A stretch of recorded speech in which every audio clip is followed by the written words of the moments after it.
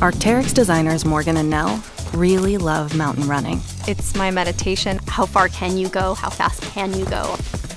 It's where I process my personal life. You also kind of tend to suffer. I love everything about running. And when they're not running up mountains, they're thinking about gear that can get other women up mountains, which they have some opinions on. I've almost never found something that I feel really excited to put on, both stylistically and functionally. It's felt really difficult to marry those two, function or form. Lucky for us, Morgan and Nell are lead designers for women's run gear at Arc'teryx, which poses a unique set of problems to solve.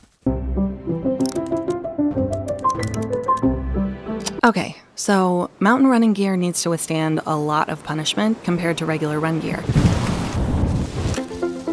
And while we've been making run gear for a while, it hasn't always been with women front of mind.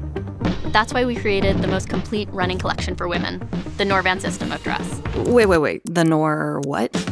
It's called Norvan because Arc'teryx is based in North Vancouver, BC. The Coast Mountains are in our backyard, providing the testing ground for all of our designs. Okay, and what about system of dress?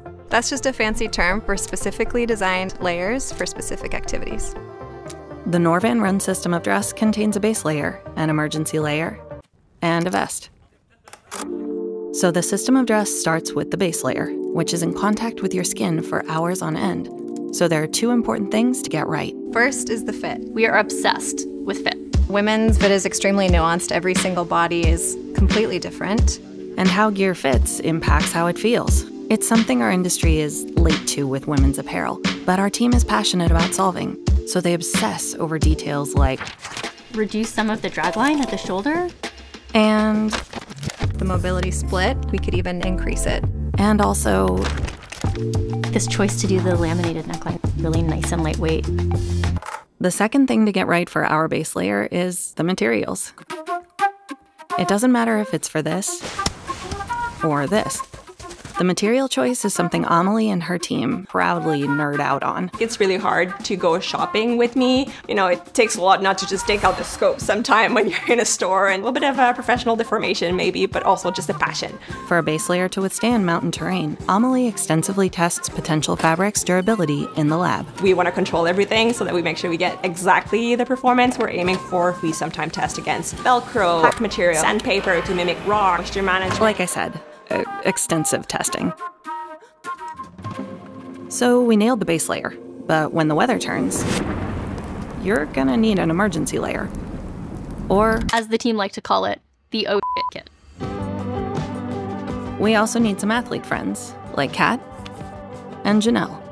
Kat and Janelle accumulate thousands of kilometers a year on vertical terrain, making them ideal test subjects. They destroy so many things that we give them, and it's honestly exactly what we're looking for. It makes you really think about your gear and how it's performing, like placement of a zipper, pocket placement, whether an item has a hood.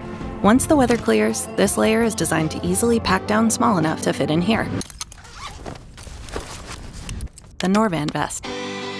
Aside from being able to hold all of your running essentials, a rain layer, a warm layer, water, candy bar, bear spray for sure. The vest layer is also meant to fit like a glove to a runner's body. Which, again, isn't straightforward when you're designing for a range of women's body shapes. And it looks like we have to go back to the design center. Ryan has spent his long career in hard goods design, but this project provided a new challenge. To make one running vest to fit a range of different women's body types. For a long time, there was no woman specific fits for vests. The only real option was a unisex vest for women. Unisex. Yeah, so to hone in on the women's fit, Ryan brought in Amanda, who makes prototypes in a house. I love building prototypes. It's like my passion. To make one vest fit lots of different body types, Amanda has to make lots of prototypes. I don't have words to describe Amanda's job. She is a master at a good many things that I don't even have a clue about. And because Amanda makes the prototypes here, they can get outside to be tested quicker. And so, prototypes go out, changes are made. Ryan field tests prototypes. It's super hard to design for the thing if you don't do the thing. Prototypes go out, feedback comes in, changes are made. Athlete wins trail race in prototype. There's always room to improve. Feedback comes in, changes are made. Prototypes. Yeah, you get the point. So for Women's Fit, there's one really obvious area the team needed to get right. It's boobs. We designed for boobs. So the team adjusted the strap webbing placement, vest angles, and a bunch of other details to get the precise fit. We're talking about millimeters here, but it makes all the difference.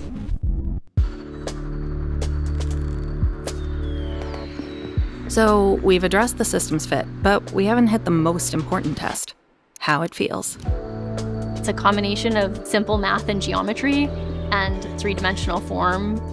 And that translates to this magical emotional experience of when you put something on. There's an emotional element that's just as critical as the functional element.